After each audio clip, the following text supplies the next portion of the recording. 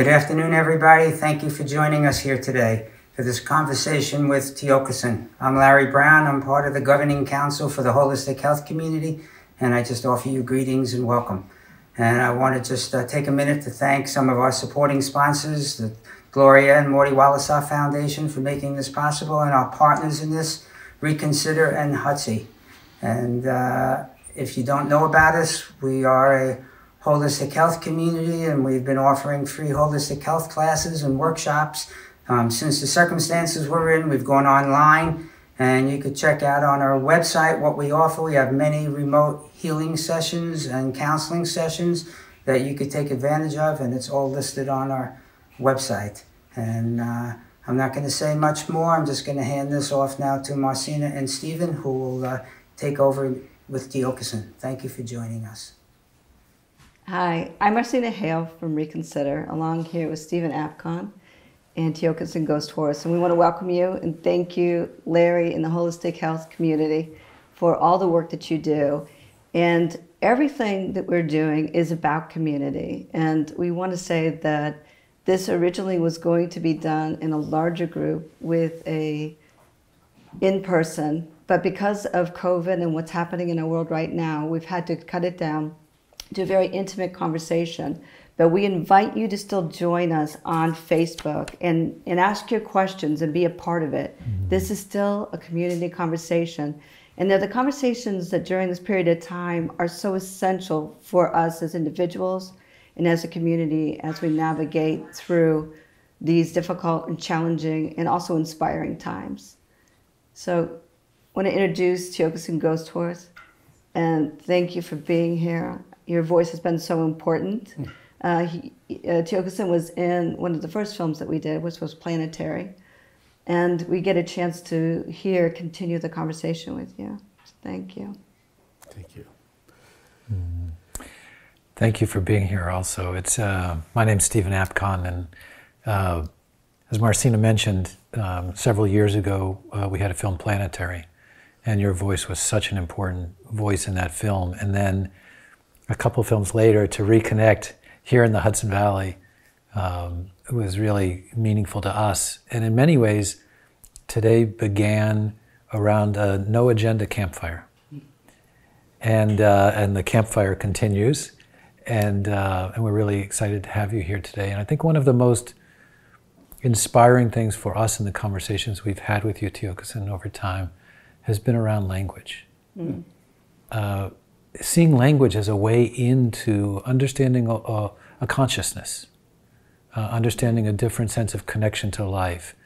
And, uh, and as I was thinking about it today, as we were sitting here getting ready um, for this, uh, the language, you know, you, you, you chose the word akantu for this uh, for this program, and I'd love to get into that. But I'd also like to ask you the notion of how language is also a reflection of thinking, of thought process, and of consciousness.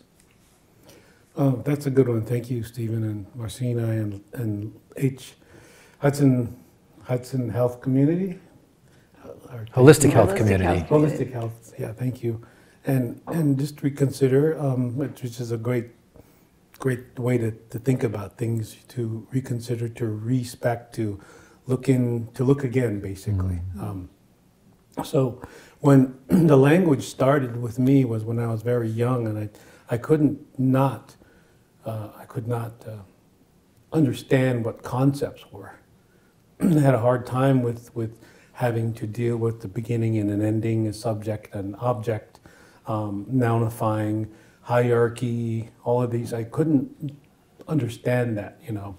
So there was a thing that I remember being a four-year-old listening to a drum of old Lakota men uh, on the reservation I grew up on, and they were sitting around a drum, and they were rolling their Bull Durham, called it Bull Durham, in one hand and a drum, and, and they were singing. They were speaking, the old Lakota, the very old, and it was very I couldn't understand what they were saying. I couldn't understand um, the words that we, they were using. So that it, frust- as a four-year-old, it would frustrate me. Mm-hmm. And, as, and, and I was trying to think, now, what does that mean? What does that mean? But the most amazing thing began to happen. I the feeling of energy from what they were saying, And then I let that go and I started understanding it was the energy they were talking about. So when I got to a place where I understood um, mm, as much as I could with Lakota, they, they said, well, it, it's, it's a language of, of energy. And we say Lakol or we Yukcha Chante, which means um, to speak Lakota uh, thinking, Lakota thinking from the heart. So then I began, as I grew older, to start understanding um, English, and of course, I I eventually understood what concepts were. Um, the hierarchy that's based in the Latin of English and other languages that are based on dogma. And when I um, come to understand that, wow, how could I relate to different consciousnesses, such as a tree or, or an animal or birds or fish, or even other people? Um, and I could not do it with a singular language that individualized myself and as if I was separate from everything. So when I began to understand what does I mean, I is a noun, so therefore not a being somewhat because I was given a title I. Then I researched more about what, what does that mean to us a Lakota. I means basically we can say uh, um, uh, that I, the meaning of I in Lakota is, is a verb. You are a verb. So we turned into energy. We are we are a verb. We are in motion with everything. And from that point, uh, when I was older, in, in older, younger, in my twenties, I began to understand different variances is- and how to communicate um, uh, the, the feelings.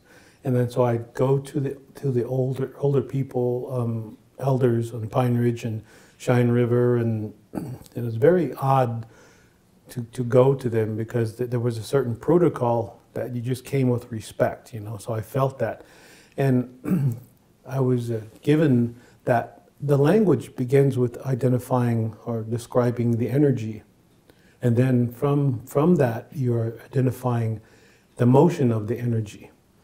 So there was really no nounifying of anything, or thingifying, or, or turning things into material object, objects, or even to subjugate, subjugate anything. So, so what became that that uh, the human being, you know, that the political terms of slave and you know uh, uh, the, the master and all it didn't fit, and because they were so divided between uh, the binary consciousness of, of right and wrong or worse or, or better or you know good or evil and i couldn't understand well what's in between this? What, why aren't we working with what's in between it? Because it feels like we can work with what's in between rather than just take it for one or the other right? And then today that's still happening in in a political and religious and a scientific world is that we take one or the other. We have to prove it or wrong. We just can't accept the mystery in it because maybe we lost contact with that. Maybe maybe we don't have the language for that. And then just recently, I think it was 2016, I came into um, understanding a statement that uh, someone said. What was that? Language is the first weapon drawn in a conflict. And so I, I went with that and like, wow, that's true. And, and are we speaking the correct language, so to speak, without judgment, without uh, a mind of discrimination, a heart of discrimination, which the heart doesn't do anyway because the heart does not lie.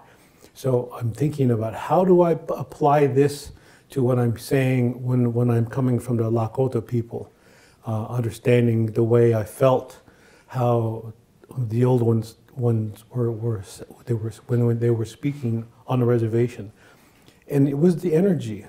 So, are we conveying energy, or do we have the language that's stopping this energy? Right. That's not really completing its its thought, you know. And with you two, I, I said, well, completing thoughts or some something like uh, when I grew my uh, garden.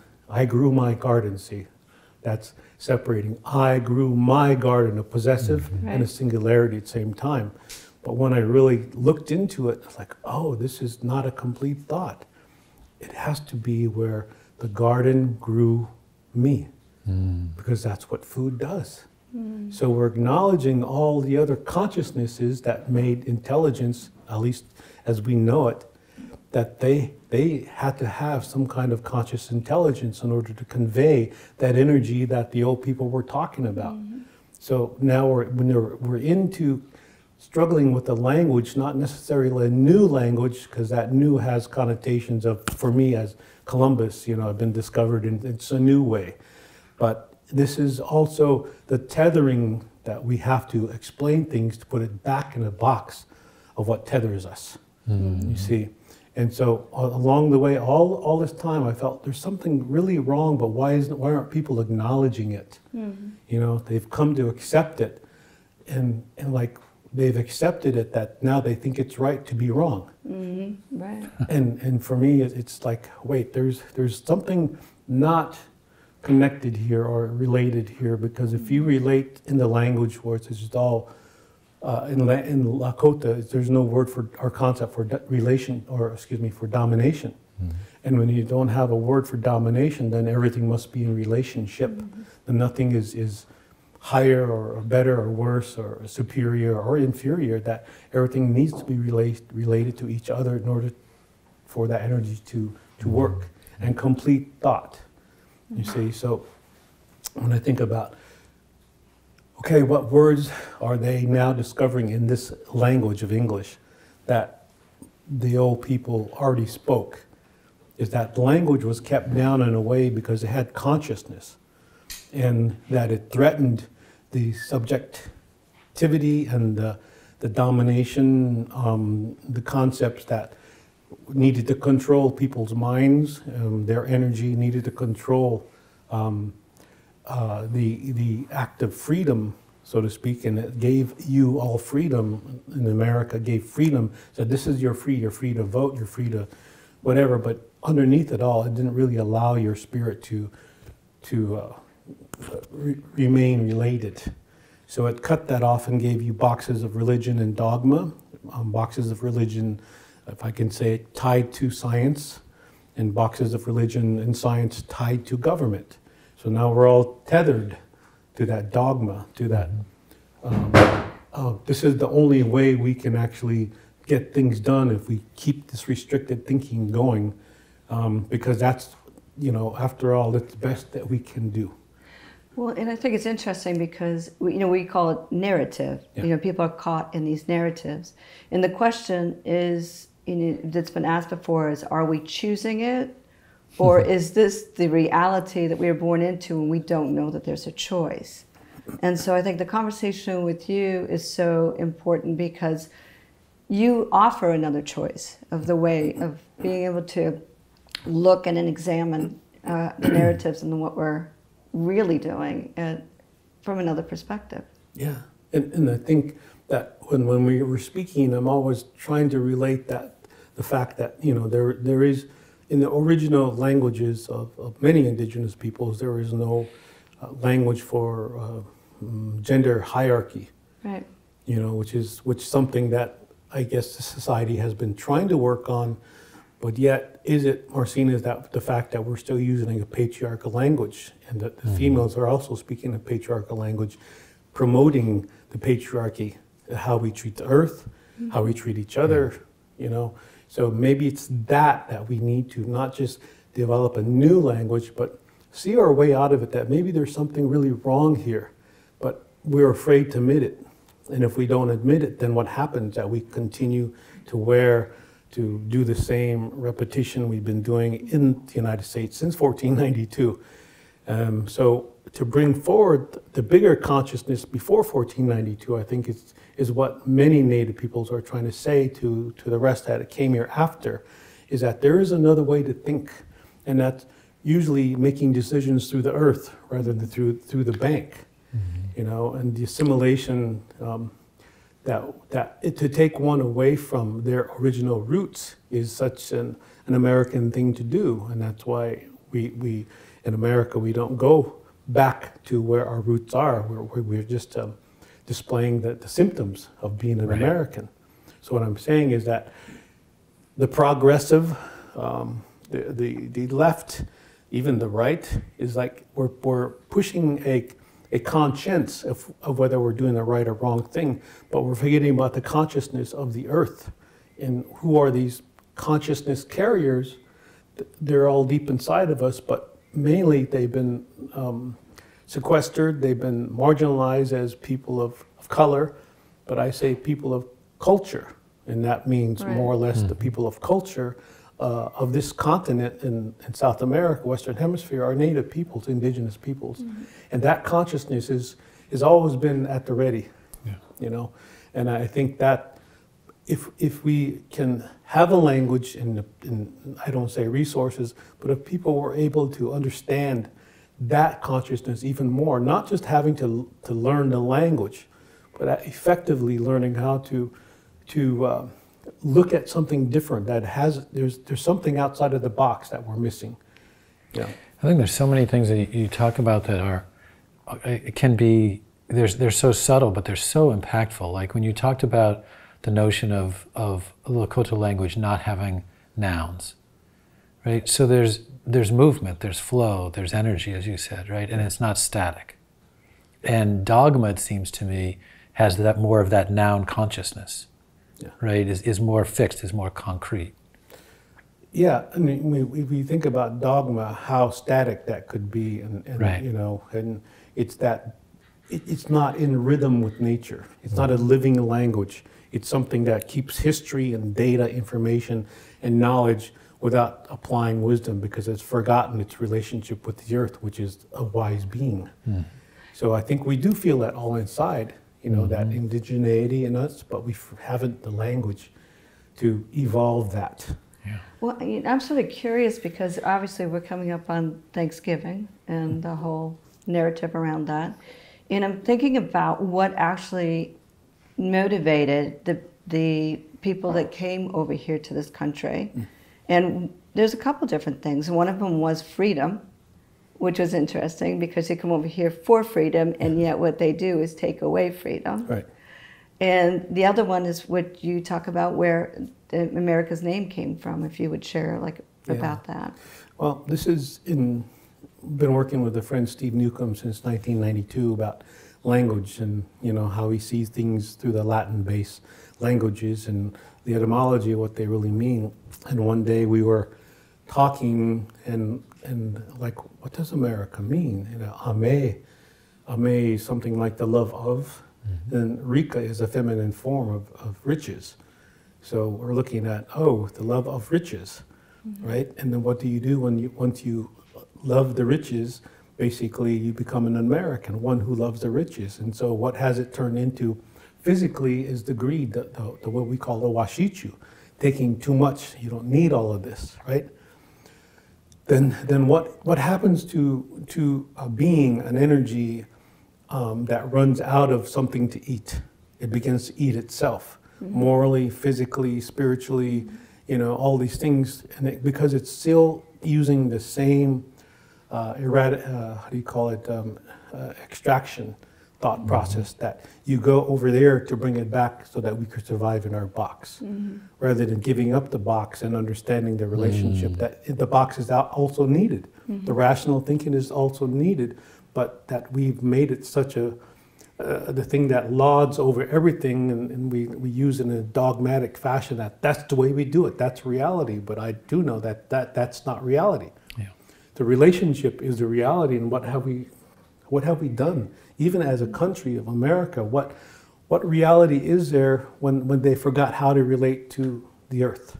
Right. you know there's environmental um, you know i guess the disposition of would be that environment or the environmental movement has redefined what is a natural rhythm and, and marginalized it and dogmatized it such that we need to control even the earth becomes mm. it comes out in conspiracy theory that we're going to make weather and you know change the weather and change the earth but it's not really i think we're fooling ourselves because we, we are, we're basing everything on science and how much information we can rely on in order for us to control whoever wants to control this because this information is always changing because the earth controls science science will never be the same because earth is in control of science that's what i mean Well, I think what's interesting is what you said before is, you know, we lost the connection to the mystery itself.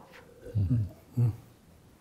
I mean, it, the fundamental longing is for that reconnection. And you know, when I look at our culture right now and what's happened here, and the and so much pain and trauma that was created in this country in order to do against escape their own traumas, what, whatever the history that each person brought over. Mm-hmm.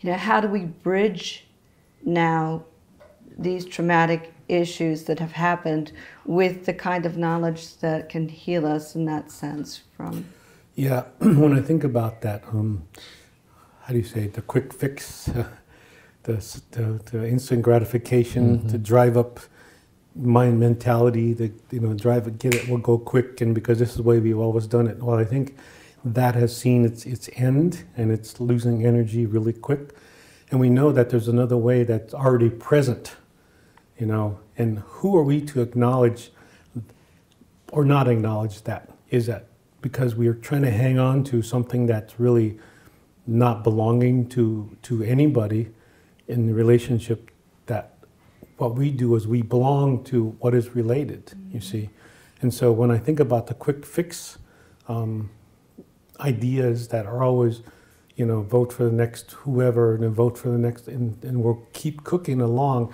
the meantime resources are running out right you see, so where where is the, the saneness of that? And and and it's just the same as the people.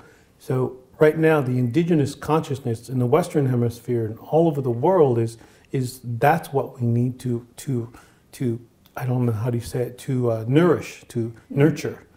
Um, to, to understand that maybe it's these peoples of all of us, these indigenous folks that are still in rhythm with nature. And I think we're, we're out of step as, as this country is, because it, if it was in step, then the agenda, if that's what it is, would be Earth agenda first and foremost, because that would keep all life in, intact, you know, rather than just us planning to, to launch someplace else to another another uh, planet, Yeah. right? So an, an earth thinking or an earth consciousness, right, or uh, brings us to the question of akantu. Yeah, the acknowledgement of energy from time and space that before thought, before we could even think as humans, right? Um, the the the space spatial, I guess you could say time on the space. Um, a voice that was spoken, to put it in language, a voice that was spoken about the, the energy and that was always acknowledged, right? But we haven't acknowledged that because we've kind of piecemealed ourselves away and said, that's God. And we've nounified God. So therefore it's a dog. Separation. Yeah, we separated ourselves and did what we did to put in. So I think uh, from quoting my, my uncle, he said there were 220,000 organized religions uh, that all had dogma in the world and only one spirituality, right? And, and that one spirituality would be what people will say, we're all one um, without ever knowing how to be related. Because Right. it's the tie-in is to be related, learning how to be related, which makes us all one, our organisms as we are, in that sense, right? So, and I think again, going back to the the, the fix, quick fix thing is, I have to say this disclaimer: I'm not a shaman or I'm not a chief, not a spiritual guru, nor do I tend to be any kind of healer. Just be me, right? Mm-hmm. And that that's that's the, the forte in human in humans who are just themselves rather than thinking that they are themselves that they know without doubt that this is what you were here for. The purpose was to support life to if anything the word would be pray. To understand energy and mm-hmm. what what uh, spiritual technologies have we had and that we've forgotten that allows us to understand the energy that was given in everything all life mm-hmm. right? So akantu is part of that earth earth mind earth consciousness earth earth man earth woman mm-hmm. earth being Right. and once we, we put earth in front of us, then everything is that. And rather than the, the Anthropocene that we're going through now, and because of our anthropocentric thinking that humans are the most intelligent, and I know they aren't. We're- building bombs, so what, what intelligence is that? We, we, make, we read books.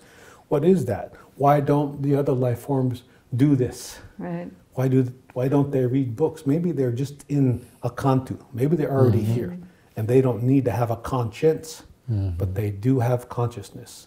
Mm-hmm. Yeah, and I, I really yeah.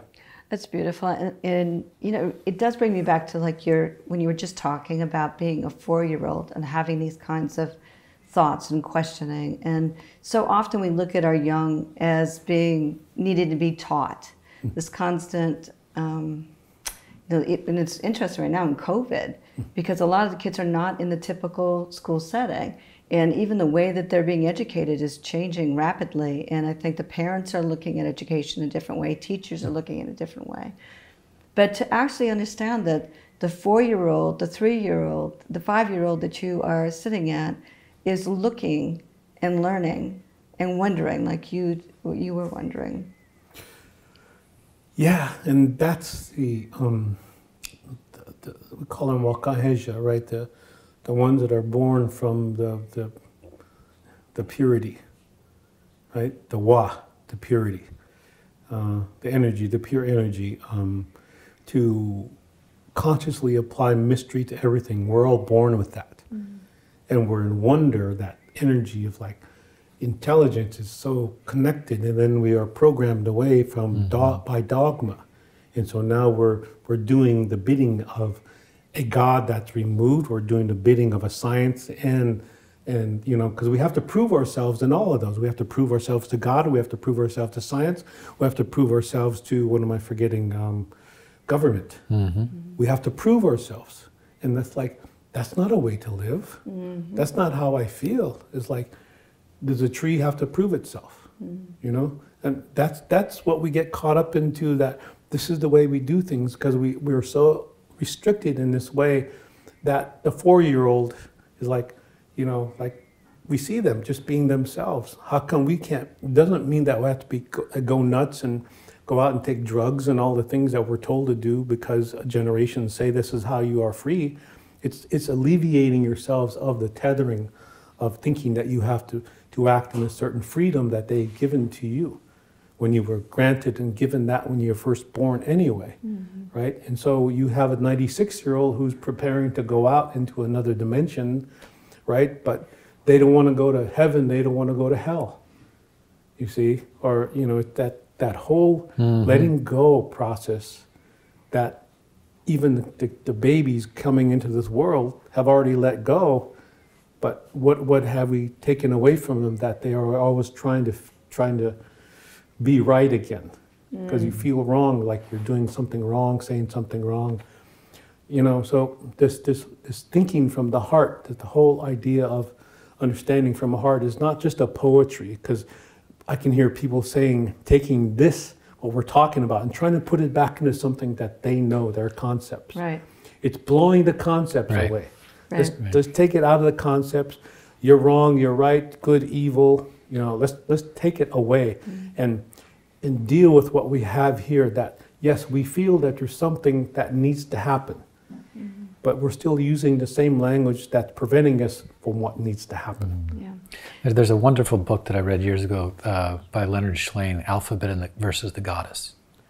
And sort of that notion of language coming in and it being, uh, and he's talking specifically about language coming from Egypt and, and Roman and Greek and all that, and, uh, and that being a place of separation. You know, that being a place of where the dogma comes in and where we're told of uh, the consciousness and the constructs that we're supposed to operate in. And it's interesting because when you were talking about heart thinking, and then when you went and you were just talking about uh, thinking about the way we talk about government and about culture and all that stuff, you you you were, you were here. You went this thinking, and I'm wondering, like, is it is it about the integration of both of those things? Is it the rationality that's that's taken us out of the or the the way that we privilege um, rationality in, in our culture? i think so i mean that that's what i mean i have to prove myself that i'm intelligent in this society right i don't have to prove that to a tree Yeah. So, you know, I can't take my plans to anything and my book to that tree because the tree won't, like, you know, what are you doing? like, like, it, it has consciousness already. Maybe Yeah. that's why we have books and things, so that we're trying to look for consciousness that we lost. So why don't Native people have alphabets? Why don't we we have a concept of, of domination?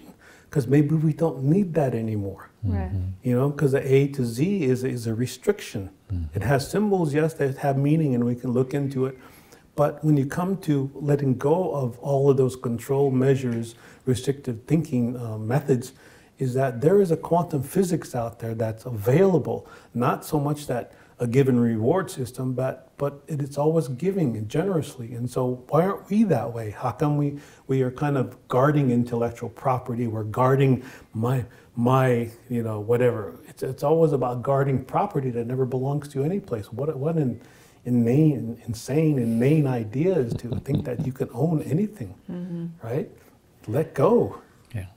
I, and I, th- I think that's an interesting thing for me because we, we talk a lot about oppression. And the word oppression, and this is it's a very delicate topic, and and especially today, but we look at the oppressed as being the indigenous or the, um, you know, African Americans or the Latinos and so forth. But when you look at oppression, who's the most oppressed, mm-hmm. it would be the oppressor. Yeah. Yeah. Because who would you rather be in if you if you come to this world and you could be anybody you'd want to be, would mm. you want to be the oppressor or would you want to be, you know, in yeah. all those control mechanisms to control. You know, it, it kind of like your your dog owns you rather than you owning your dog type of thing. But that oppression, the measures, we have to look at this language, look at the etymology of do we really need to, to think this way? Because obviously we don't feel this way. You know, there's something wrong, but how come we don't have the right language to understand that there's something wrong? right? So we look for rationalities and, and intellectual denials. So the more we're educated, the more we're educated, uh, we're seduced out of our, um, you know, we're drawn out or we're, or led away from spirit, right? So, and, and that education is not all cut out to be what it is. I think I, I kind of giggle because um, Mark Twain or I think Robert Clemens was his name. He said, Uh, Samuel Clemens. Yeah, Samuel Clemens. Samuel. Clemens, he said that uh, I was educated once and it took me years to get over it. Right? so think about that. Are, are we ne- we're needing the same thing, taking us years to get over it? Mm. And, and and Native people say decolonize, and col- colonize, but that's a binary too. Mm. In the old way, there was no such thing as to colonize or decolonize. It's just a formula that's thrown upon us because we're struggling within it to, to find recognition within the classist system that based based on taking resources away and deflects us from actually being who we are as Native people. So indigenous peoples, again, indi- in, I can say indigent and work on that in Latin, the etymology of in, indigent is indigenous peoples, the, the people, the race, poor people away from us, o- o- somewhere else. So we can use that. Um, I remember using it in 1990, 91, and people thought indigenous was a plant, you know, because mm-hmm. that it's not in our vernacular, but now it Wow. is, because now we're all learning and yearning, longing for who are we, Right. you know, who are we? So we send rockets and everything out there. Well, we came from here on this, and then we dig in the earth to try to figure out where did we come from. But I don't think it's that so much for indigenous people. You, you don't mm-hmm. find that because that's the first thing you do is when we introduce each other is that we know we ask the family lineage we know, and then you're secondary. You're secondary because you're you're seeing how much generosity you can have with your being given to other people, not just uh, because you come from the source. You're not ever a resource. You're never a resource. So I think that that's a word that we can just drop. But source is what it's all about. And are we taking care of that source? Because that source generously has been taking care of us forever. You know, so that's one of our, our the main ideas is to appreciate. And Uncle said that, um, um, yeah, the two things that we can ask for, and as as I understood, is that the two things that we can ask for, not pray, but to ask for is appreciation and the intelligence to know appreciation. And And that's the, the like the formula, if I could say it that way. Wow, I love that. So understanding, yeah, understanding that we, we cannot remove ourselves and figure out how to go to another planet or whatever, because we need to deal with this consciousness here. Yeah. COVID, COVID's here, Mhm. right? So what has COVID done to us? It brought us to a different kind of consciousness, a different way of thinking, being, and we're still tethered about treating it the same old way with, with the vaccines and Mhm. whatever we, we have from that science.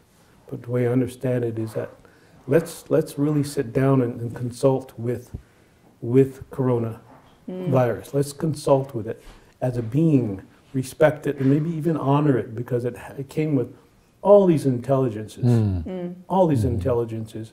But what are we doing? We're going back to the um, I don't know if it's called post facto of Western civilization to solve a problem that it can't even take care of, of the technical damage it's done in Fukushima.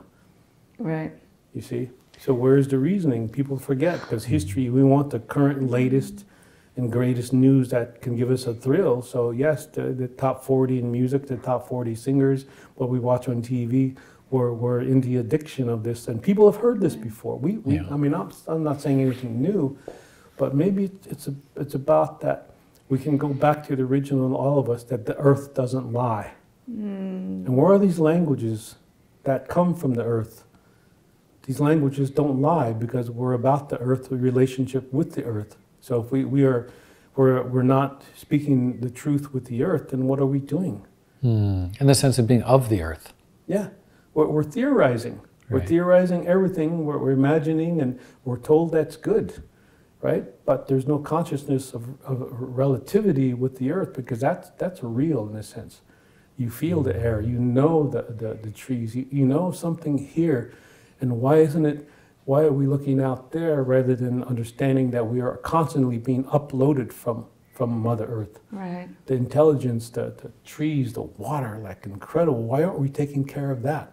I think that, you know, with places like Standing Rock, and even before that, and when I was a kid, and Wounded Knee, and, and other places around the world that I've been to that, that are talking about the consciousness of the earth, that the reason why these things happen is because we hurt, we forgot our message from the earth, so we're hurting, we want to hear that again. So guess what? Earth is speaking loudly once again, even through COVID. Mm-hmm. You know, and go back to Standing Rock. It was actually four years ago uh, that we were in This week. Standing Rock this week, and it was interesting because as we were pulling up, while we were hearing uh, on the radio station about how dangerous the protesters were, and to be careful, and all of this information was given to us, and we went in, we went into the um, camp with friends, and there was so much peace there. It was the antithesis of what they were saying on the radio. And the way that the protesters were working and the way that we were taught then was the first we had to teach to respect. We were there to to be in service to the indigenous community. And it was beautiful. They they tell us this is what you can do, this is what you can't do. And they taught us respect right away, which was beautiful. And even uh, the Veterans um, for Peace were there, who was the organization we came in with and to watch them look at the military that was up on the hill and then they were speaking to the military but you could see the power of media Yeah.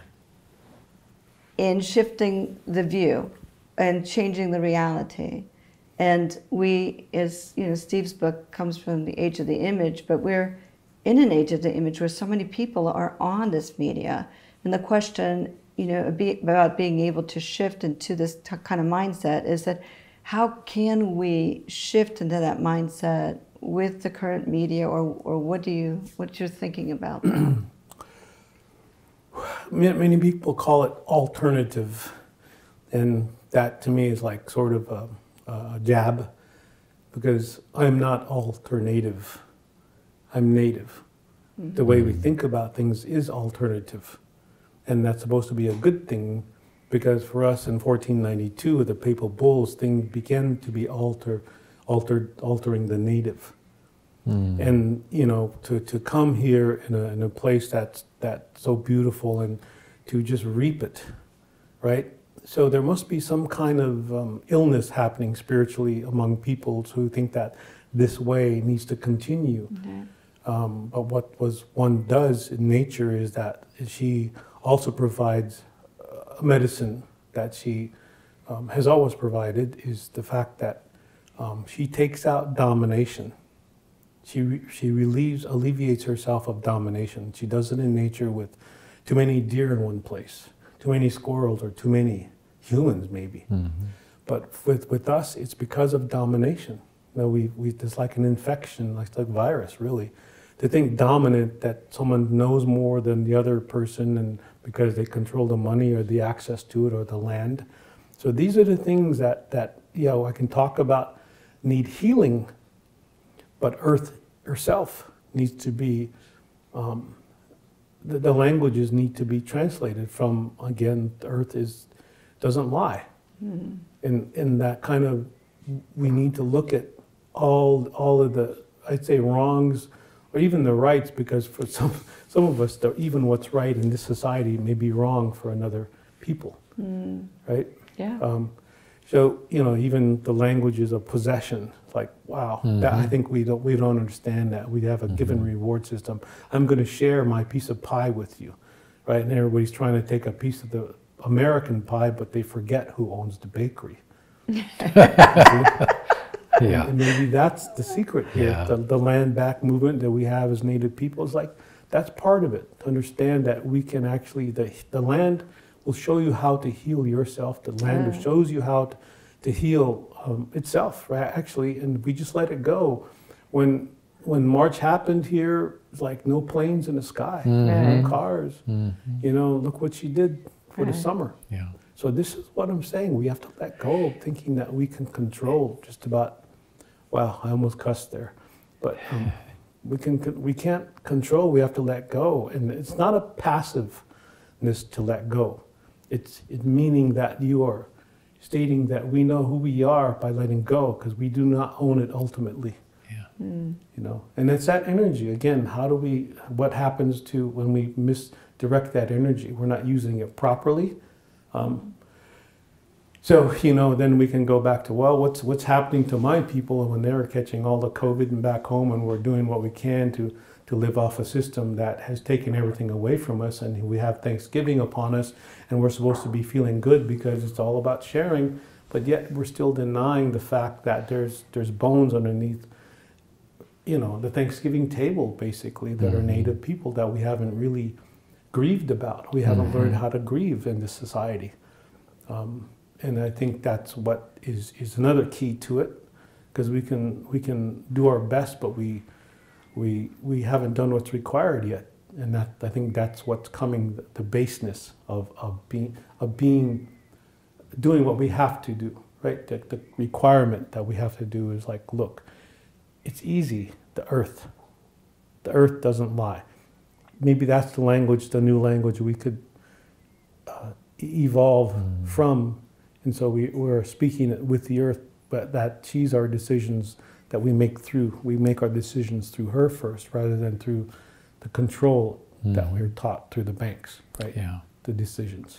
It's, you know, when you talk about the earth doesn't lie, and you also said the heart doesn't lie. Mm-hmm. And uh, you can feel the connection there. Yeah. And Marcina always talks about how in our society, you know, we've, we've created this place where our kids, they understand the disconnection, right? They understand innately that the culture that they're being asked to be a part of, that they're growing up in, um, he doesn't speak to their soul. And, and we have more and more of our kids are struggling. And what's interesting, as you always point out, is that the more the struggling that happens when they get to the point where you don't know how to support them as parents, you know, oftentimes they'll go out into the wilderness. And uh, and yeah, the- the wilderness programs. and the wilderness growing. programs essentially are you're on the ground, you're on the earth, you're not in tents, you're not uh, in in houses, you know, you're in the wilderness for 60, 80, 90 days, and that's the therapy, Yeah. right? That's the return. Yeah. It's so, so much so, and then and thinking that deeper into that thought is how much you say we, we all go out into nature to have a reprieve, even from ourselves. um, but it's really go to, find the me- to to find the medicine. Yeah. And the languages that, that I've studied and heard of traveling is that a lot of indigenouses still speak that, the microtonal languages. In other words, I'm, I'm saying that um, they know the languages that the plants speak. We know that certain languages have uh, vibrations. Uh, certain plants, certain everything has vibration to it, and they make certain sounds. Now, these, I use the example that the Western science, with all their knowledge and know-how and scientific uh, methods, only understand 10,000 of the 100,000 plants in the Amazon, when the native people understand 100,000 without the science. Wow. It's because their languages are still speaking what, what we've been always talking about. This is how you treat the earth. This is how you respect the earth because it respects you, it cares for you. So why aren't we returning the favor, basically? Um, so it's the microtonals, the microtone language, and everything changes once we are outside because then you have even the mushrooms, the plants, and the trees hearing not so much with our ears, but our heart picks it up, all the, the vibration that's happening. But we're away from nature, what happens is the harshness of only dealing with other human beings and that only we matter. So the subject matter is that only humans count in the end and in the beginning. So we lost story with the earth. You know, we have fairy tales about the earth, but there's no living with the earth yet. So I always say that the, uh, again, uh, uh, off my ancestors and with my ancestors, is that where's the peace with earth? Because that would, would solve all the problems that we're having by having peace on earth, which, by the way, in the next month or two, we're going to hear peace on earth. In the last thousands of years, we never had peace on earth. Mm-hmm. But the indigenous folks, we've always had peace with earth. And that's part of mm-hmm. the truth of the earth is that that doesn't lie. Peace comes from the earth. And if mm-hmm. we don't understand that, then I guess we'll continue to, to have peace on earth and extricate everything to try to please ourselves temporarily. Yeah. We'll have peace on earth and, uh, and we'll own a piece of the earth. That sounds good. Peace of the earth. Yeah. We own, a, own, own That's the consciousness, right? That's Yeah, the, yeah. yeah. So is it is it, it you find do you find conscience outside? Do you find uh, that a tree or a bird or do they have conscience? You know, they they're they only have consciousness, Right. and it's only it seems to me the human being that that has this trouble with conscience, whether or not we're saying the right thing, doing the right thing.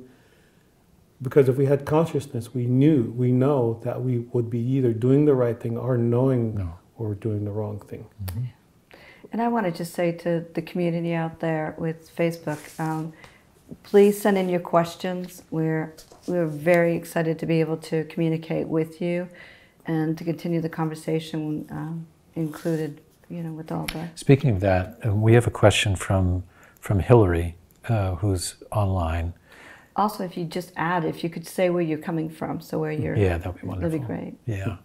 I don't know where Hillary's um, writing in from, but she, she wanted to know whether you could speak more about the notion of I as a verb.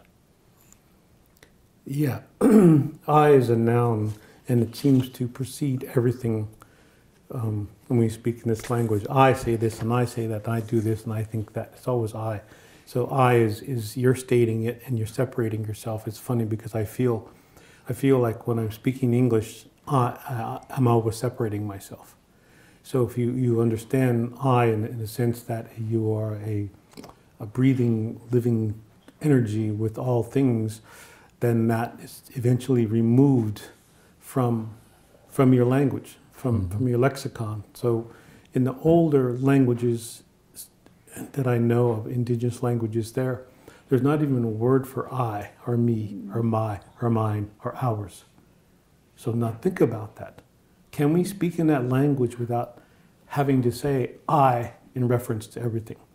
Because is that how far we are away from real relationships? Mm-hmm. Because we need to separate ourselves by mm-hmm. saying I, me, my, mine, or ours.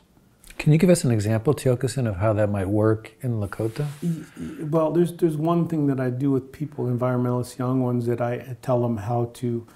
I say, well, write 500 words about yourself, and without ever meeting me or anything. It's just the, their first instruction I give is write 500 words about yourself. Introduce yourself to me. And so they write. They spend maybe up to an hour sometimes writing about themselves, and they, they it's hard to put about themselves in 500 words. So they finally come around to it, and then I say, well, now you can give it to your partner, and every other partner, would you underline I, me, or circle I, me, my, mine, and ours? Any Mm. possessiveness of that too. And so they they they they circle and they find out that wow, there's a lot of I's in it. There's a lot of me's or my's or mine or ours. And now take that out of take those possessives and those singularities away and just say what it is that you related to. So it becomes an alive language.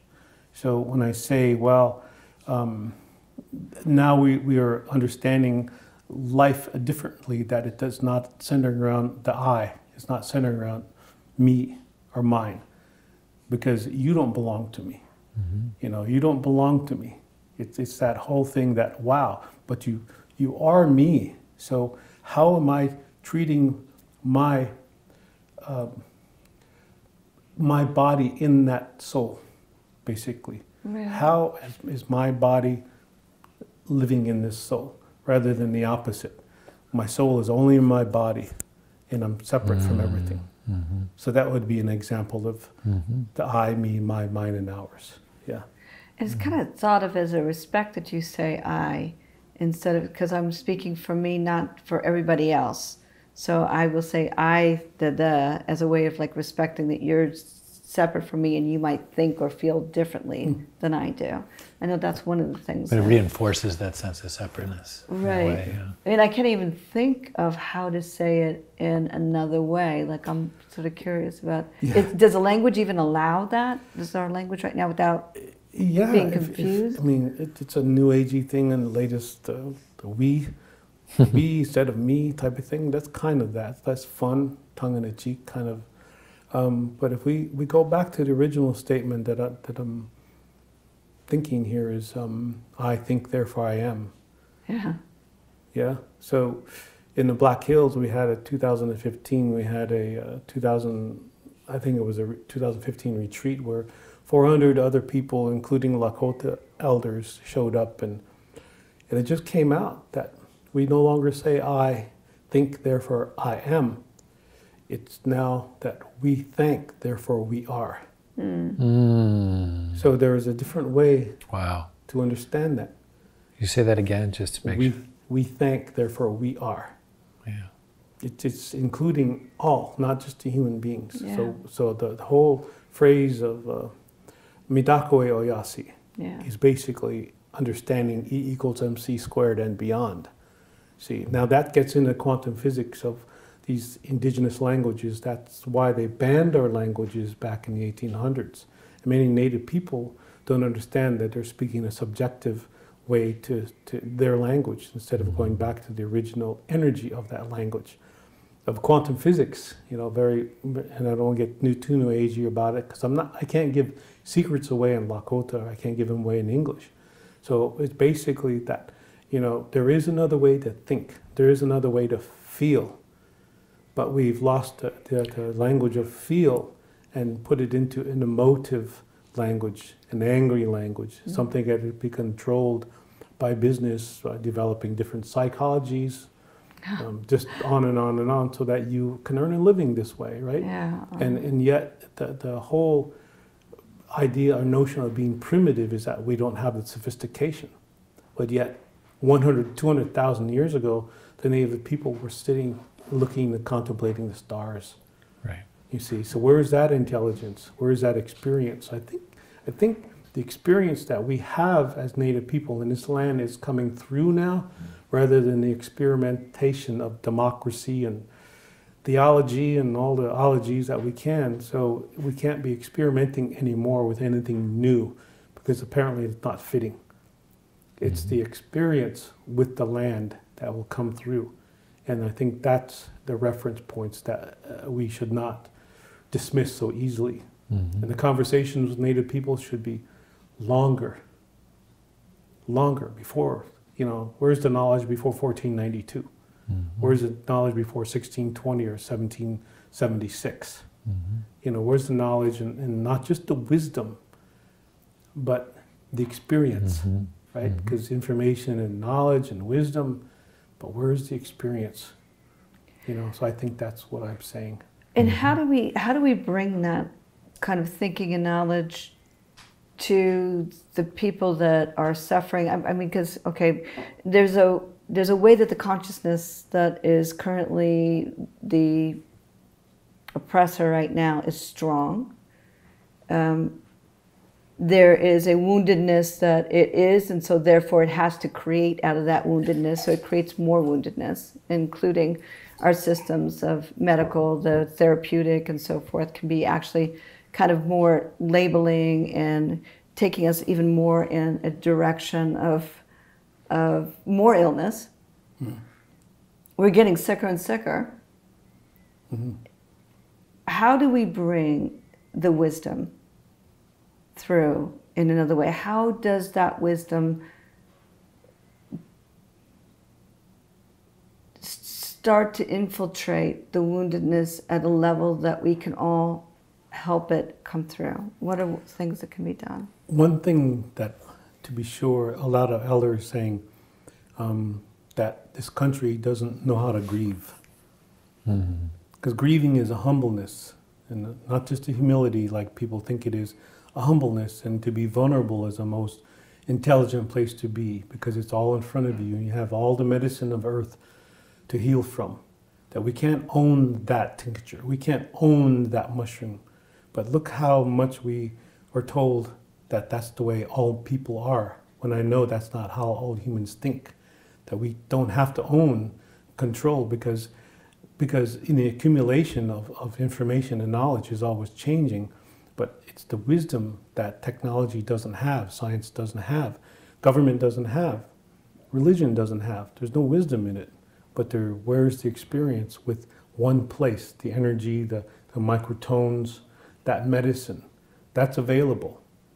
But can we understand it with this language? So I get your point.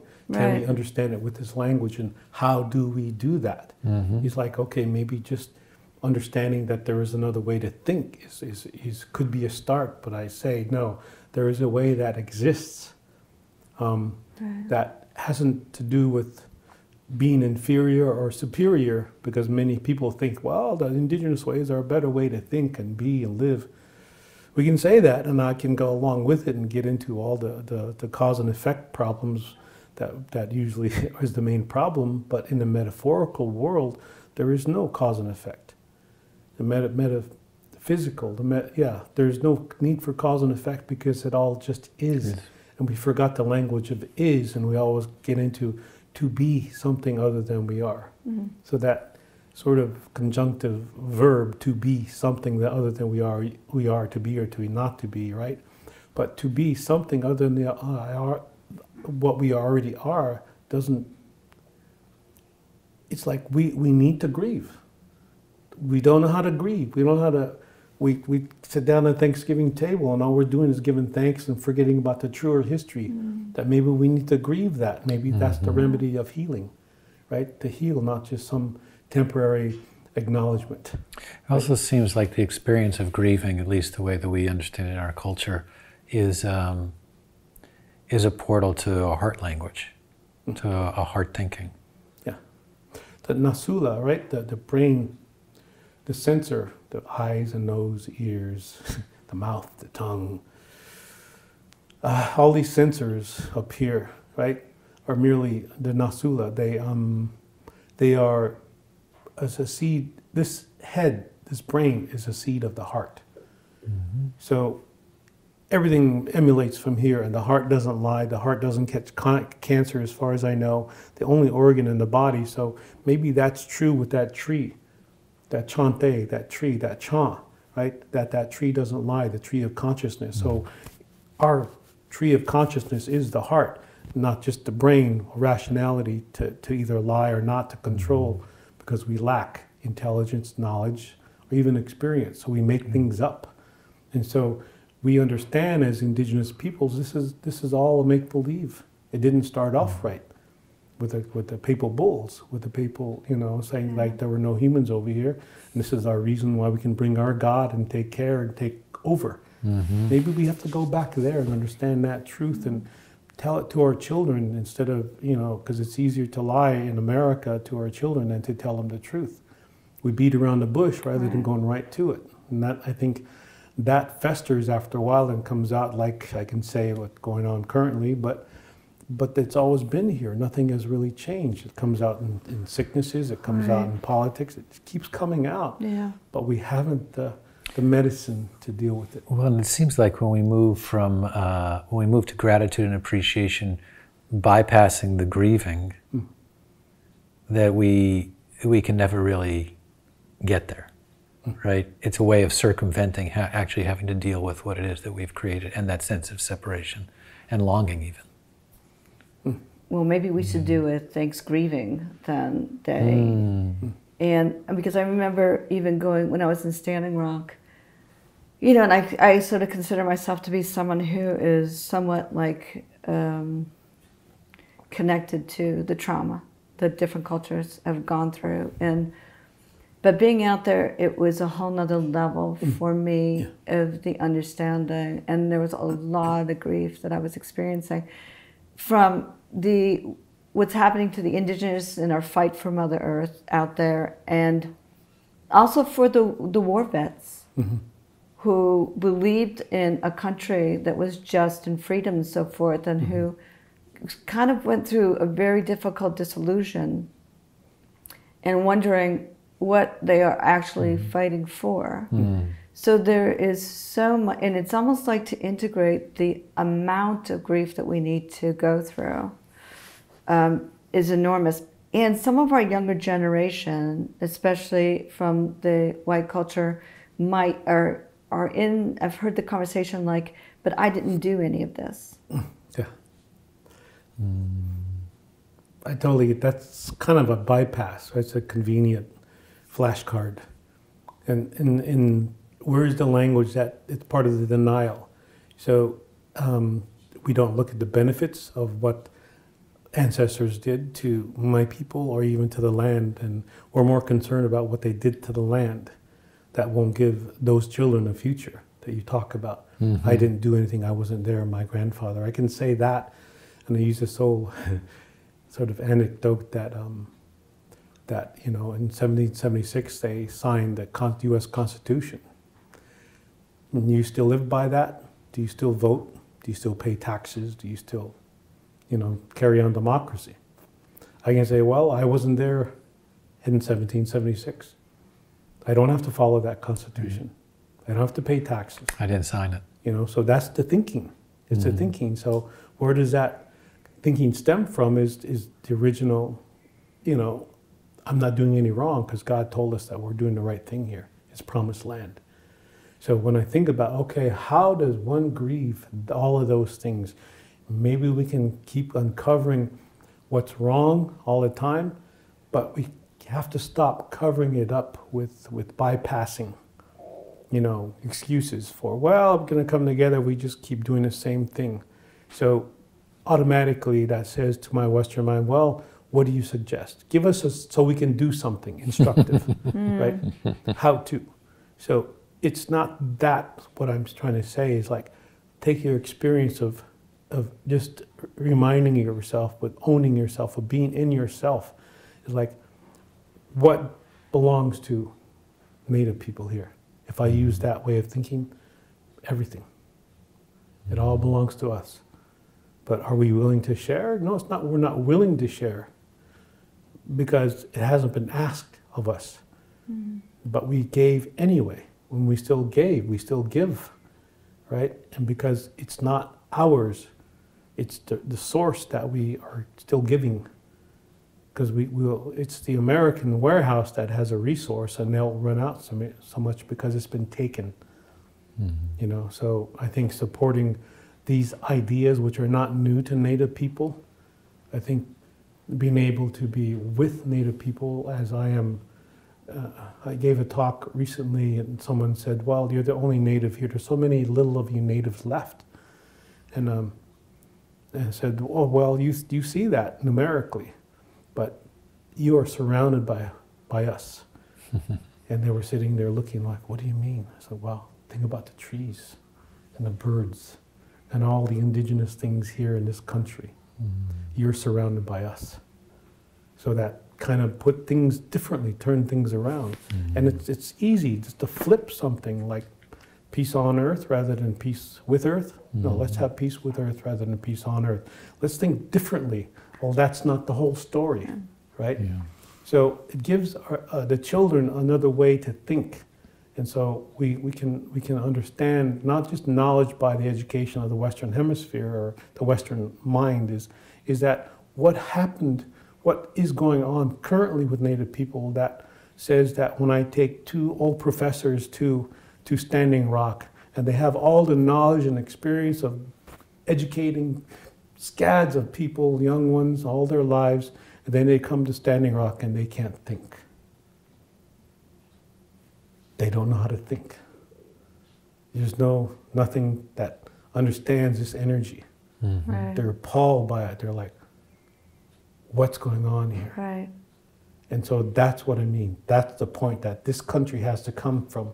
Instead of trying to think their way out of it, is understand that there's already another way to think yourself into it, which is, comes from the earth, which Yeah. comes from what you felt, that consciousness there at Standing Rock, which I've, I've always known Right. it's been there. I felt it all the time. And always not just to defend or attack anybody, but are we all protecting the earth?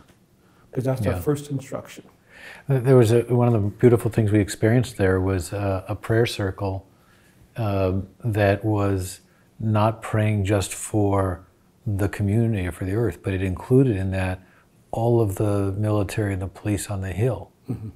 You know, it included all of the brothers and sisters and all of the suffering from that from the separation. That's the grief. That's the the grief. So maybe Yeah. the native people that I know were always talking about we need to grieve what we've done to the earth. Maybe we need to apologize to the earth, Mm. right? Not just to the native people, but but their we've taken away their ability to have freedom within the Constitution to take care of the earth because they're they're they're appreciating the, the care. Um, I think we we have to understand that um, we were put in, the, in a box called a reservation. And because there's not room enough for Native people in America. But our thinking as Native people is to always include all relationship. So our thinking, mm-hmm. our base, who we are, is bigger than America. Mm-hmm.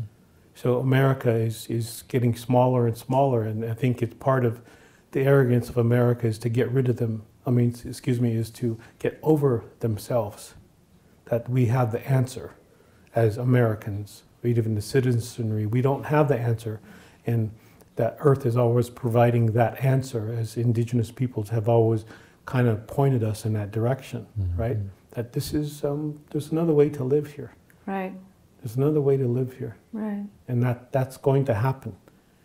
So either we we, we get to it, or we just continue to sustain the same old. Um, Well, and I think that's what's so important. It goes back to that that question. You know, um, for many people, when they're born into a certain narrative, that's the only one that they know. Mm. So the question is whether they're choosing it or not. Mm. And in one way, they're not choosing it because mm-hmm. they were born right into it. Mm-hmm. But so the idea is like, how do we show that there is another way? Mm-hmm. How do we create that bridge from their consciousness into a different consciousness? Yeah. And what's the road? For And an that? understanding that there is a constant choice. Well, and also a compassion for it, the, the compassion to be born in such a limited consciousness that allows them to be so hateful, so fearful, so um, Or even just to think that's all there is. right. Yeah. well, that is a dilemma. I think part of um, understanding it is um, um, what am I saying here? The the whole eldership is when uh, my experience with the people who were much older than I was in the, in, in the 60s and the 70s, and they were born in the 1800s, is that they always referred to their elders, not just humans, but they were referring to the rock, or the stone, or the fire, or all the elements that have been here all long before us, because they knew that we live in those. Uh, they live those intelligences, those four elemental consciousnesses, intelligences live within us. But individually, we cannot live in water or fire or in stone. So they always refer to the eldership. And that's pretty easy if I say it in this language, is maybe we could stop thinking that they don't have consciousness, that those elders that we speak of indeed have consciousness and intelligence because they live within us. And how do they do that? Let's figure that out non scientifically. And understand that the languages that, that are still remaining here contain the quantum physics consciousness to, to understand or to communicate with those elders. Hmm. Because in America, we refer, refer to elders as human. Hmm. And where are they? Where, where do we put elders? You know, there's, you know, and then they're looking for themselves. When they get older, they're like, who was I? You know, so maybe it's, it's that another way to understand that I think we all had at one time. Hmm. You know, all, all of us as humans, we had this way at hmm. one time. Yeah.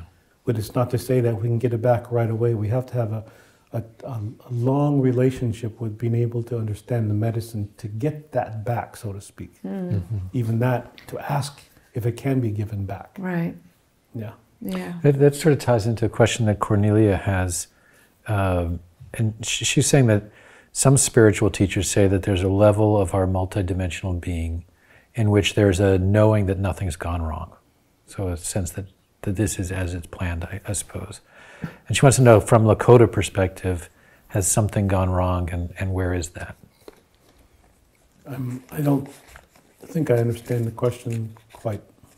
I think what she's getting at is is uh, is with her not being here. It's hard to, to be specific, but I think that what she's getting at is this idea that you know everything is as it's supposed to be, but um, but this uh, this other innate sense that there is, that there's a place in which we've split from that, and she's wondering like what what is is your perspective on where that split occurred, and is there a healing of it? I think that's a that's a broad question, and it's also Yeah. one that's commonly asked by Westerners. Hmm, Where did we lose it? Where did we split? Right. you know. But if you read the books again, you see that many, um, everything from Thomas Merton to, um, you know, even Carl Jung, are talking about. Even some commissioners, U.S. Indian Affairs commissioners, talk about that the Native people still have, but we don't anymore because we we are failing to understand the language that they have. Maybe it's understanding the language, Language. they have rather than the concepts we apply to what they understand. Mm-hmm. Um, and part of that is understanding that, okay, what are we putting first? Is it our supply of food in, in, in our refrigerator, or is it her supply? Mm-hmm. Right? It's all her providing. Yeah. And we can say mm-hmm. that, but do we live that? Are we living that? That intelligence out that she's providing, and we always must remain as appreciation. So I think if we lost um, there, there's many things that we could say, but that history is not mine. Mm-hmm. That history somewhere started over there, and 4,000 years ago, when they treated the earth as if it was property, and you know, um, It's that essential shift that you talked about. You said it earlier today, but also the other day when we were talking, that uh, this notion of, you know, I grew my garden, and that shift of you know, the garden grows us. And it's, it's not only the garden, it's everything that we experience. You know, we think we're building Yeah. all of these things, and yet those are the things that are building us. Yeah. You know, Steve, I uh, frequently talk to Western people, and it's that hard for them to hear what's wrong. It's hard for them to, to, to understand why I didn't do anything wrong, type of thing. Mm. So, what is the energy opposite of that? Mm-hmm. It's it's going in deep and understanding that, and that's the healing factor. That's a grief The we grief. talk about. Yeah. Yeah. So when it started over there 4,000 years ago, there were on that hill, you know, to understand that the earth was, she lived a goddess, in this term, lived within the earth, and she balanced the earth with the waters and the fires and the mm-hmm. earthquakes in what grew, right? And to understand that these uh, indigenous peoples were the closest consciousness to her, and they could not be civilized because they knew the truth. But that those who lost the connection and, and got rid of the people who understand the wis- who understood the, the wisdom, even in their own civilization, um, um, they had to sever that in order to understand what property was. So if, if you can hang with me, here's what I'm trying to say: is um, once we they arrived at a, at a place that they knew that they could make other humans property, women property, that they could create a hierarchy with reason and rationality, mm-hmm. is that they could not civilize indigenous peoples. So they called us tribes, mm-hmm. the three indigenous peoples of that time, Greek, Roman, they called them tribes. They could not be civilized. And I think that's the heart of who we all are, is that we don't have to go pagan, because that's a Christian term. Hmm. We don't have to be heretic, because we don't have to choose this or the other.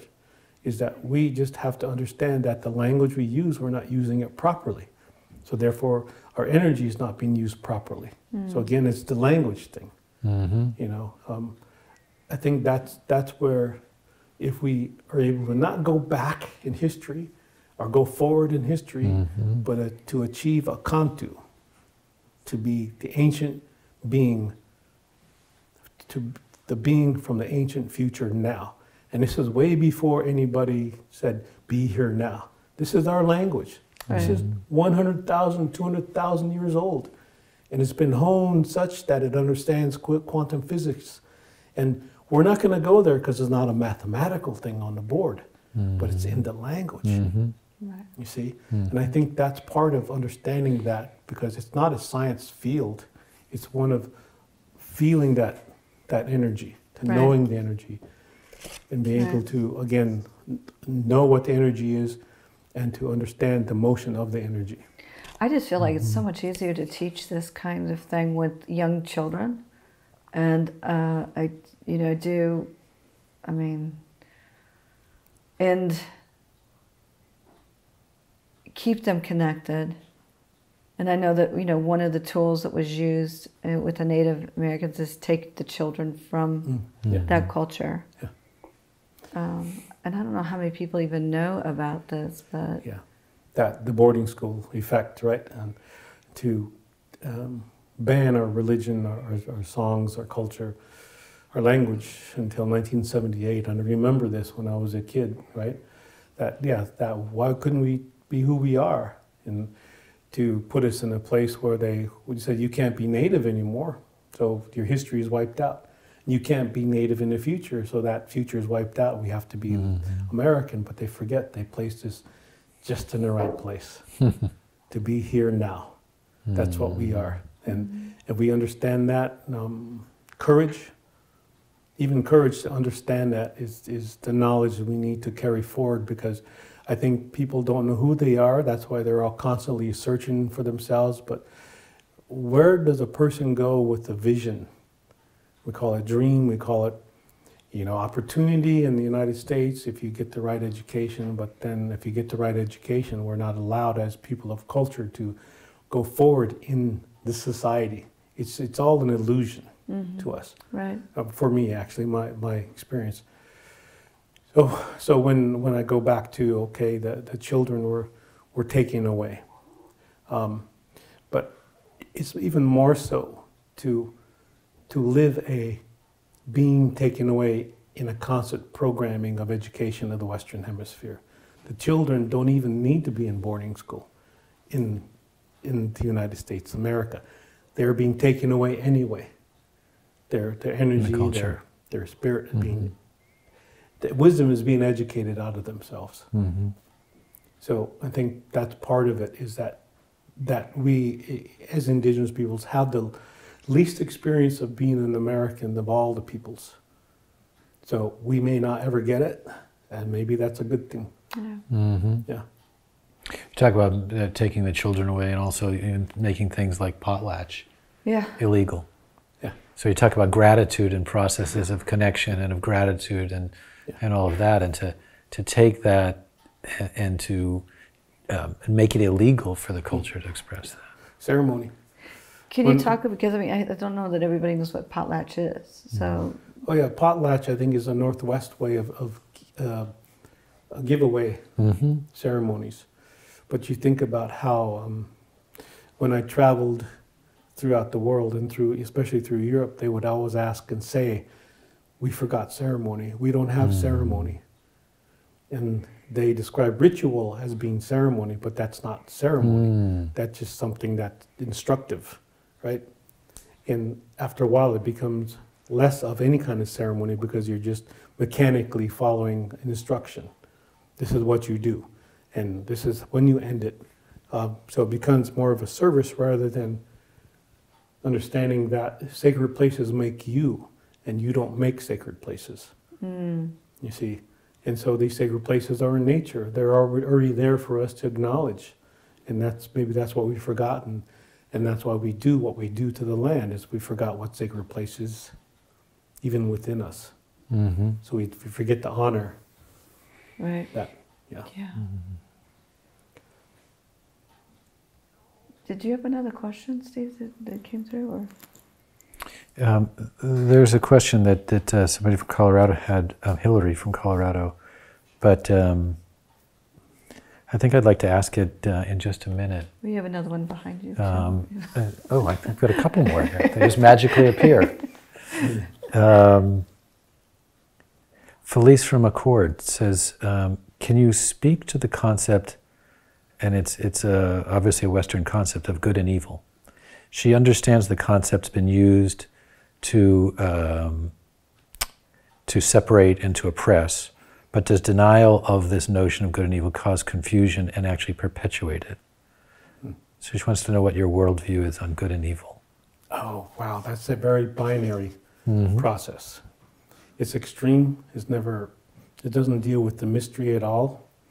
So in this good and evil, in this concept of binary, is that you will never accept mystery. That you'll always try to to solve it, and eventually that will make one go crazy because we're always trying to solve the mystery, mm-hmm. but you can never solve the mystery.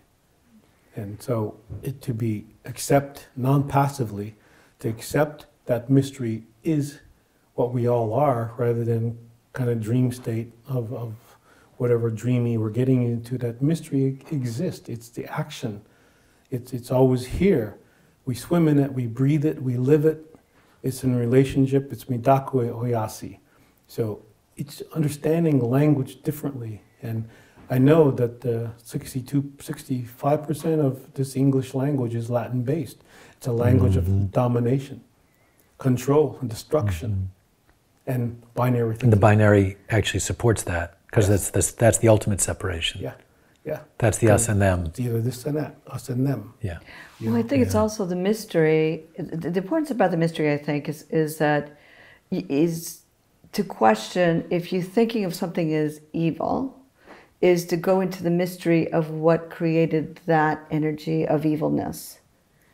So that you're still, it's not a concrete evil, but it's actually still the flow of what creates the energy that's behind a movement that you're considering mm-hmm. of evil. I mean, it's, it's still going back to the mystery. It, it's a it's a like a default. People go to it right away. Like a superstition doesn't exist in native languages, mm-hmm. or supernatural doesn't exist. It is what it is. It's a hechetuelo. it's, it's it is what it is, and so it is. Yeah. And so it's it's us thinking evil is an energy or good is an energy, which is kind of true, but yet what happens when they come together? A certain balance, and being in the mystery Yeah. right? So that's that's hecha too. That that's is what it is, and we, we can not just think of things in binary consciousness, but that it's everywhere. So one of the ancestors of Lakota said that that um, the, the the center of the universe is everywhere. Mm. So what does that do to the, the language we're using? You know, if the center right. of the universe is everywhere. Right. Yeah. One one of the things that I, I was struck as you, you were speaking and Marcina was talking was that um, you know originally we were going to do this with the whole community coming together, and and we were constrained from doing that because of regulations around COVID and and all of those things, and so like many things in our life these days, it moved to a to a virtual thing, and so we have people who have joined us, uh, actually from all over the country, people who have joined us, and I just had this image of as the three of us are sitting here talking, and we have a crew here, that uh, everybody who's in this virtual space is is with us in this is is with us in this conversation, is with us in this room. And then I thought, well, it's also um, everybody who because somebody asked whether this will be recorded, and it is being recorded, and it will be available for people to see.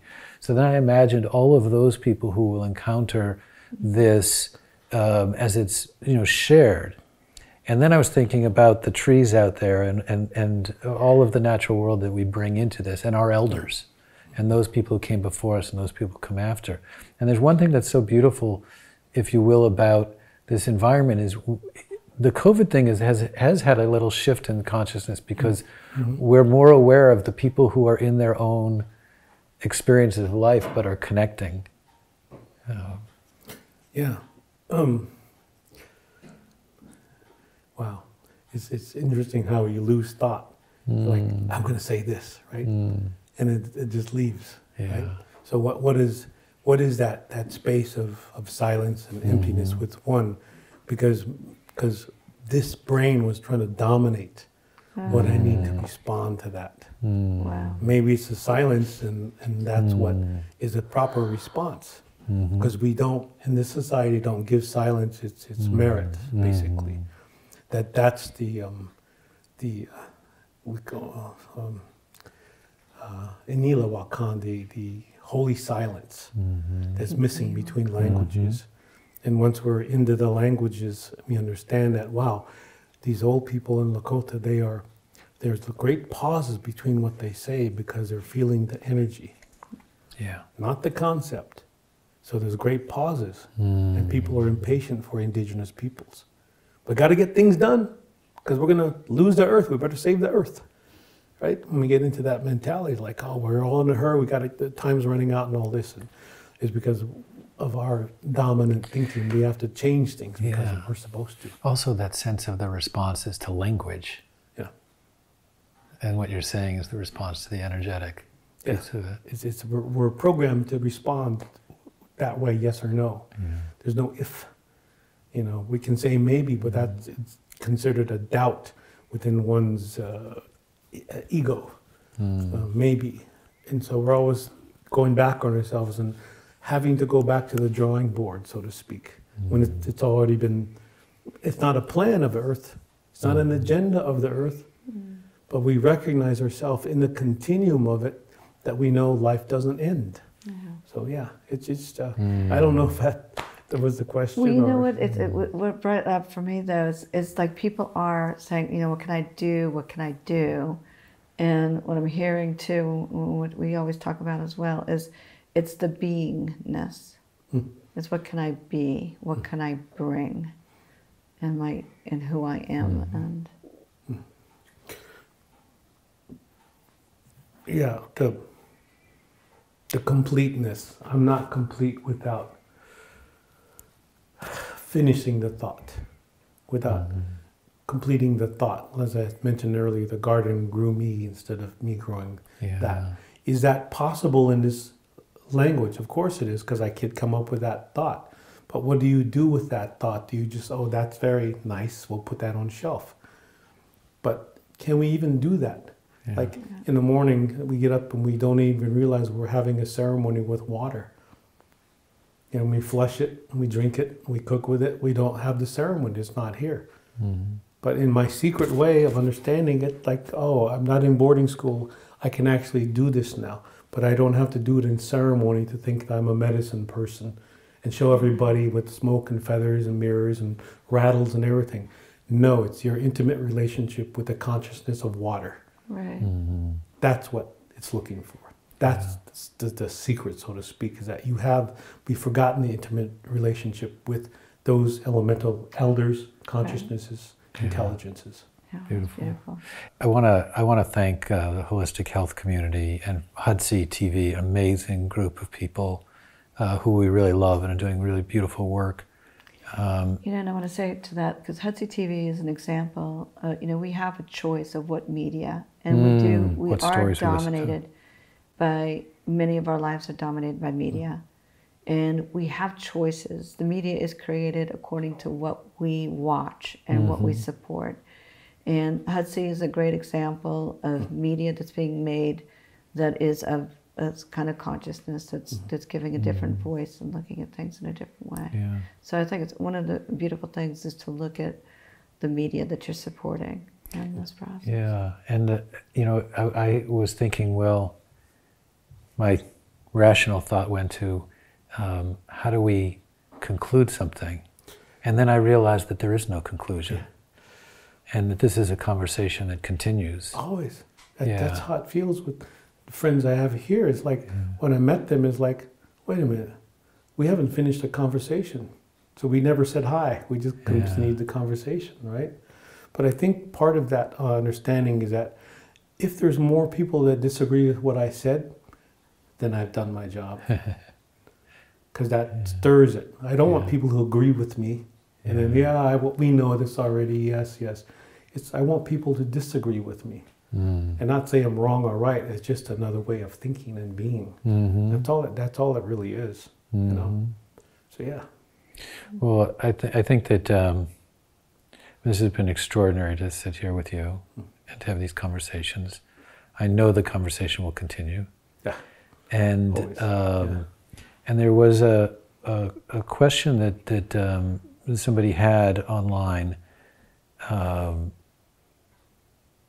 which may be a nice place to take pause till we come back to this conversation again, and that is to to ask you. You know, before we went live today, um, we took a moment just to be grounded, and and you set an intention, and you did that in in your native language. Yeah. Um, and what we could feel was the energy behind that. And we didn't need to understand the words. Mm. And I'm wondering whether, uh, and it was asked, whether you could share something of the way in which you understood the world as a, as a young child, and to share that in your native language, um, and uh, um, and maybe to, to to leave that as a way to to to pause this conversation for now and to pick it up another time. Mm. Well, that we have no word for goodbye in our language. Yeah. We only say. Um, some people say, doksha ake wachin kitelo," which means basically, from my point of view, it's uh, I'll see you again in the circle of life. Mhm. Thank you. Thank you so much.